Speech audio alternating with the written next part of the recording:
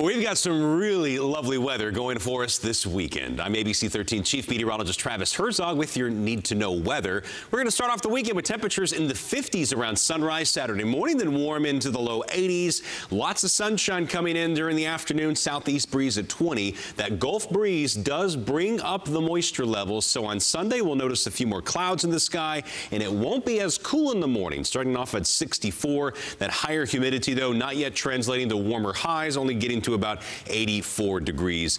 Though you will notice, though, is the dew point climbing. And once that dew point gets there into the upper 60s, low 70s, that's when we're into sticky territory. And that is certainly coming our way for the first half of the new week ahead. But there are a couple of weak fronts that uh, will make it into southeast Texas that could help to drop those dew points back down later on next week. So we'll start off the morning for most of us in the middle 50s. Our average low is 59. Our average high is 79. And we will exceed the average in the afternoon, warming into the lower and middle 80s north of I-10. Closer to the coast and the coastal counties, you may have high temperatures only in the upper 70s. No rain for us this weekend, but after the weekend, small rain chances percolate in ahead of our first weak cool front. The second weak front looks to stall out nearby next weekend, and that'll bring slightly higher odds of getting some rain. The upper air pattern this weekend features a heat dome over Mexico. That's going to bump the storm track north of Texas. So the next big storm system coming in from the west is going to to move more towards the Great Lakes than towards the Gulf Coast,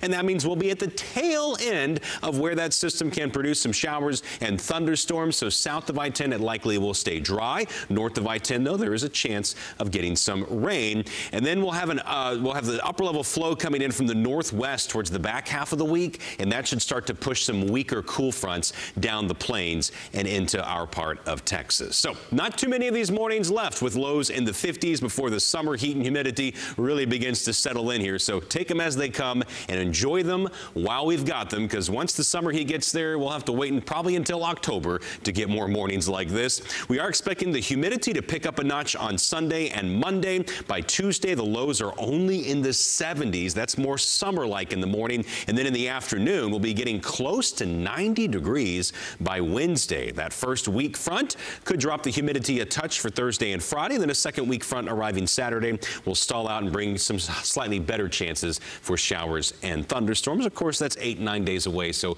there's time for us to adjust and massage that forecast as the details come into clarity. As it stands, though, this weekend looks spectacular, so I hope you get outside and take a moment to enjoy it, and we'll keep watching the weather for you.